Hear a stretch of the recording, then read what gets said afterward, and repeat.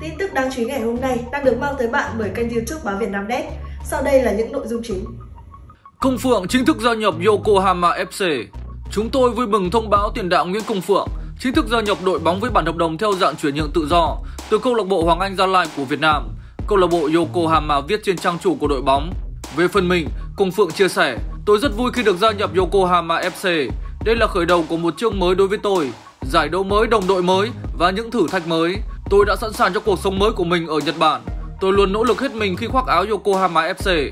Hãy ủng hộ tôi trong những mùa giải sắp tới. Tôi mong chờ được gặp các cổ động viên của đội bóng. Giá trị hợp đồng giữa Công Phượng và câu lạc bộ Yokohama được các bên giữ kín.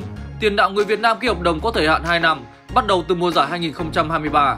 Đây là lần thứ tư Công Phượng xuất ngoại. Được biết, chân sút 27 tuổi sẽ mang theo cả gia đình sang Nhật Bản để sinh sống. CP10 tỏ ra rất tự tin và quyết tâm sẽ ghi được dấu ấn tại câu lạc bộ Yokohama.